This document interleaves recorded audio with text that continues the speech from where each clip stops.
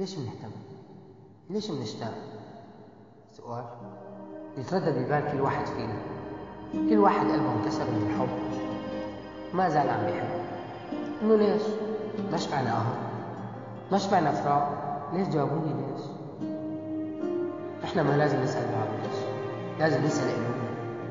لازم نسأل المسؤول عن كل هالشيء هو قلبنا. فجيت أسأل قلبي قلت له ليش لساك عم تشتغل عم تهتم بأداء تفاصيلها. وهن لا مهتمين. لا بأي شيء كرمالك يمكن ما عم بيفكروا فيك. باعوك وراحوا تركوك بوقت ضعف بعدوا عنك وأنت بأشد الحاجة لإلهم وقت اللي ندهت لهم عملوا حالهم مو سامعين. كملوا طريقهم وراحوا لبعيد. ولا كأن شيء حدث لسه عم بتشتاق طيب ليش؟ طيب ليش بقى بتشتاق لهم؟ مستحيل تلاقيهم جنبك؟ إذا هني حنوا ولو لشوي صغيرة. طلبوك تلبيهم توقف جنبهم إنه ليش هيك؟ جواب لي قلبي. الدمعة أخذني. قال لي حبيتها. حسيت بكل شيء معها. سألني قال لي إذا بيوم من الأيام الولد كبر. بعد عن أمه. صاحت له. ما رد بتكرهه بتتركه ولا بتضل وراه وعم تنصح. وتحاول تقرب منه. قال لي بتذكر وقت قلت لها بنتي تذكر وقت قلت لها بنتي نسيت حالك؟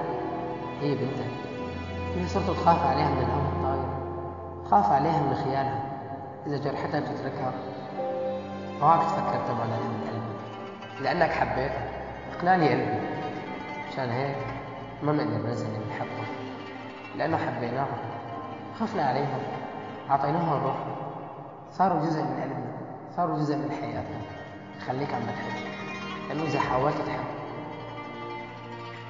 ما راح تقدر لأنه إذا حاولت تحب غيرها كمان راح تظلمها. لأنه صار عندك خوف. صار عندك خوف إنه تتعلق وتهتم. ترجع تترك رح تضل تخاف. صح أنت بحاجة اهتمام بحاجة حب لكن صدقني إذا حاولت. لتنجح بدك جهد كبير كبير. لو أنت هلا بحاجتها محتاج حبها. ضل صعب لأنه ما حتلاقي مثلك حد يحبها. لا يعطيها شوي مثل ما أنت أعطيتها. من اهتمام. أنا لسه عم بكتب لك. وهلا اشتقت لك.